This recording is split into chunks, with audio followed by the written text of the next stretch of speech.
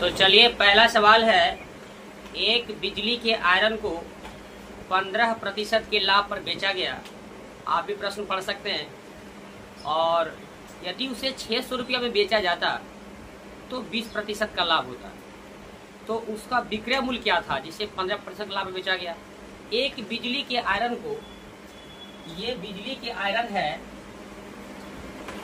ये बिजली का आयरन है बिजली का आयरन।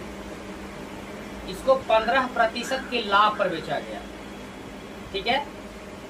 और यदि छह सौ रुपया में बेचा जाता यदि छह सौ रुपया में बेचा जाता तो कहता है कि 20 प्रतिशत का लाभ होता।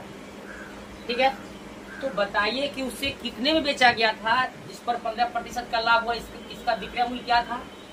तो कहीं कोई फॉर्मूला लगाने की ज़रूरत नहीं है। ध्यान रखेंगे। पंद्रह प्रतिशत का लाभ का मतलब क्या? हम एक सौ पंद्रह जोड़ेंगे। यहाँ पर बीस प्रतिशत का लाभ का मतलब क्या? एक सौ हम, एक सौ बीस जोड़ेंगे।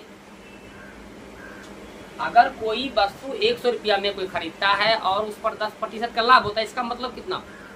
एक सौ दस में बेचेगा उसे। तो यहाँ पर पंद्रह प्रतिशत का लाभ हुआ, इसका मतलब सौ में पंद्रह जोड़, जोड़ेंगे इसको। अब देखिए, इसका विक्रय मूल्य क्या था? बस इसका वैल्यू दिया हुआ और इसका वैल्यू दिया है इस पर बीस प्रतिशत का लाभ होता है। इसको हम इससे गुना नहीं करेंगे। इसका एक ही कॉन्सेप्ट है कि आप इसे क्रॉस गुना करें। क्रॉस ठीक है ना? अब 600 विक्रय मूल्य अगर हम निकालेंगे सेलिंग प्राइस तो 600 गुना 600 गुना 15 प्रतिशत का लाभ का मतलब 100 प्लस 15 यानी 115 विभाजन करेंगे किससे?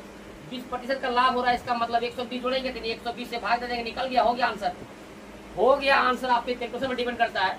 एक ज़ीरो ज़ीरो कट गया, बारह पचे कितना हुआ? साठ पाँच से गुना कर दिए, पच, पचे पच्चीस। और ग्यारह पचे पचपन पचपन दो संतावन यानी पाँच सौ पचहत्तर रुपया। यही इसका कॉन्सेप्ट है। बस एकदम सेम क्वेश्चन हम एक दो करवाते हैं ताकि आपका कंफ्यूजन क्लियर हो जाएगा कंफ्यूजन